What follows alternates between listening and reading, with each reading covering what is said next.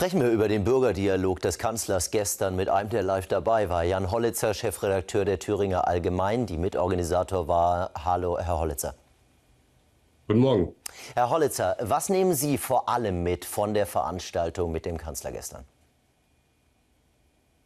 Erstmal vorab, ich bin etwas verschnupft, nicht wegen der Veranstaltung gestern Abend, sondern äh, tatsächlich eine kleine Erkältung, deshalb äh, meine Stimme vielleicht etwas eigenartig. Alles gut. Äh, wir haben wir haben einen äh, souveränen Kanzler erlebt, der ähm, scheinbar frisch gestärkt aus dem Urlaub zurück war, ähm, hat einen äh, langen Tag hinter sich gehabt, nachdem er dann ähm, die, die Bürger dort begrüßen durfte. Er hat äh, nicht viel Gegenwind bekommen.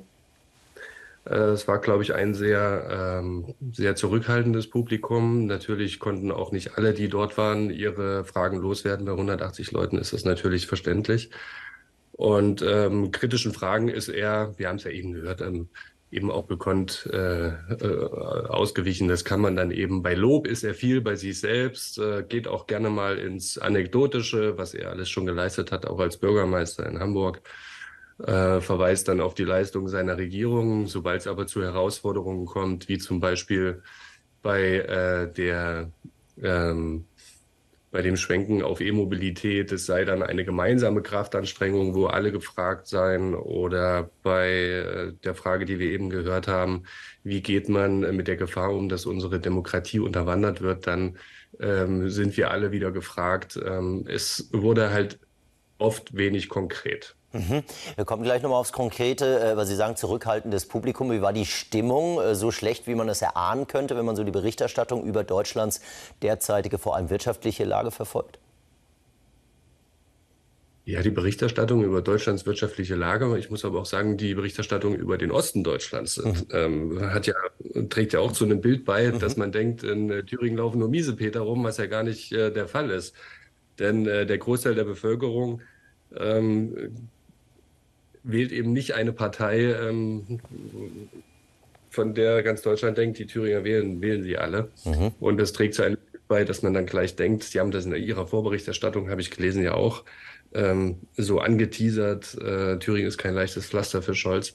Die Stimmung war respektvoll, ähm, zum Teil auch gelöst. Also es wurde auch gelacht. Der Bundeskanzler kann das ja auch im direkten Gespräch mit Menschen äh, oft anders als der Scholzomat, den wir kennen aus den äh, üblichen Bildern im Fernsehen, auf Pressekonferenzen und so weiter. Er kann durchaus empathisch auch sein und ähm, zugänglich zu den Menschen und deswegen wählt er solche Formate natürlich Aha. auch.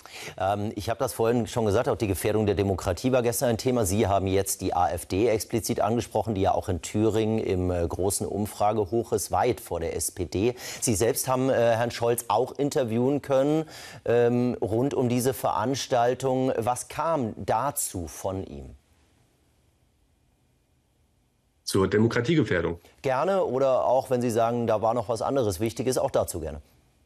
Ach so, in dem Interview, okay. Mhm. Zur Demokratiegefährdung, es haben natürlich auch Bürger angesprochen, dass gerade äh, Mittel gekürzt werden für ähm, Projekte, die sich generell mit dem Stärken der Demokratie beschäftigen. Oder die Bundeszentrale für politische Bildung soll ja nach dem äh, jetzigen Stand des Haushalt, in, Haushaltsentwurfs ähm, auch Mittel gekürzt bekommen.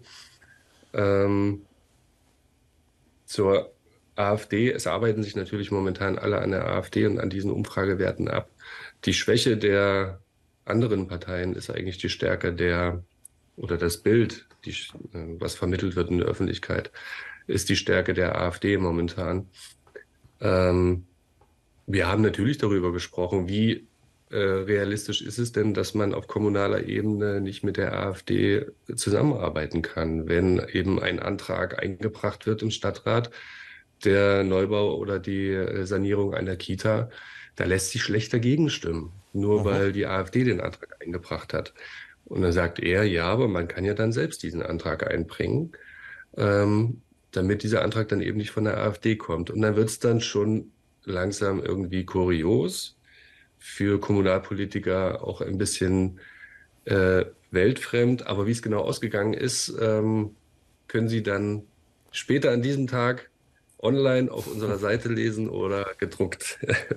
Werden wir so machen, Jan Hollitzer, Chefredakteur der Thüringer Allgemein. Vielen Dank Ihnen für die Einschätzung zum gestrigen Bürgerdialog. Sehr gern, vielen Dank.